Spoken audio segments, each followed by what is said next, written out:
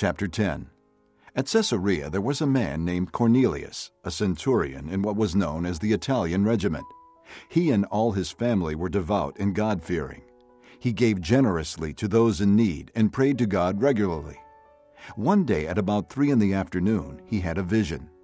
He distinctly saw an angel of God who came to him and said, Cornelius. Cornelius stared at him in fear. What is it, Lord? He asked. The angel answered, Your prayers and gifts to the poor have come up as a memorial offering before God.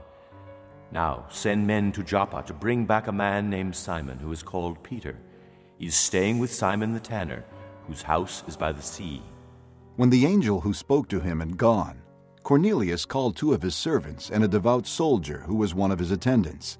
He told them everything that had happened and sent them to Joppa.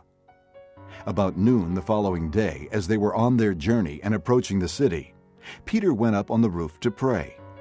He became hungry and wanted something to eat, and while the meal was being prepared, he fell into a trance. He saw heaven opened and something like a large sheet being let down to earth by its four corners. It contained all kinds of four footed animals, as well as reptiles of the earth and birds of the air. Then a voice told him, Get up, Peter, kill and eat. Surely not, Lord. Peter replied. I have never eaten anything impure or unclean. The voice spoke to him a second time. Do not call anything impure that God has made clean. This happened three times, and immediately the sheet was taken back to heaven.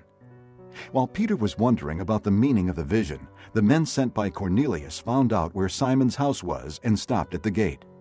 They called out, asking if Simon, who was known as Peter, was staying there. While Peter was still thinking about the vision, the Spirit said to him, Simon, three men are looking for you. So get up and go downstairs. Do not hesitate to go with them, for I have sent them. Peter went down and said to the men, I'm the one you're looking for. Why have you come?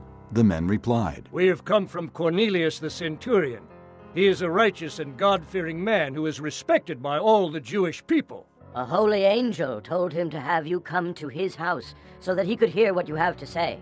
Then Peter invited the men into the house to be his guests. The next day, Peter started out with them, and some of the brothers from Joppa went along. The following day, he arrived in Caesarea. Cornelius was expecting them and had called together his relatives and close friends. As Peter entered the house, Cornelius met him and fell at his feet in reverence. But Peter made him get up. Stand up, he said. I am only a man myself. Talking with him, Peter went inside and found a large gathering of people. He said to them, You are well aware that it is against our law for a Jew to associate with a Gentile or visit him. But God has shown me that I should not call any man impure or unclean. So when I was sent for, I came without raising any objection. May I ask why you sent for me? Cornelius answered, Four days ago, I was in my house praying at this hour, at three in the afternoon. Suddenly, a man in shining clothes stood before me and said, Cornelius, God has heard your prayer and remembered your gifts to the poor. Send to Joppa for Simon who is called Peter. He is a guest in the home of Simon the tanner, who lives by the sea. So I sent for you immediately, and it was good of you to come. Now we are all here in the presence of God to listen to everything the Lord has commanded you to tell us. Then Peter began to speak. I now realize how true it is that God does not show favoritism, but accepts men from every nation who fear him and do what is right. You know the message God sent to the people of Israel, telling the good news of peace through Jesus Christ, who is Lord of all. You know what has happened throughout Judea, beginning in Galilee after the baptism that John preached, how God anointed Jesus of Nazareth with the Holy Spirit and power, and how he went around doing good and healing all who were under the power of the devil, because God was with him. We are witnesses of everything he did in the country of the Jews and in Jerusalem.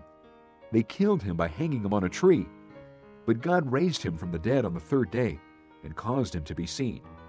He was not seen by all the people, but by witnesses whom God had already chosen. By us, who ate and drank with him after he rose from the dead.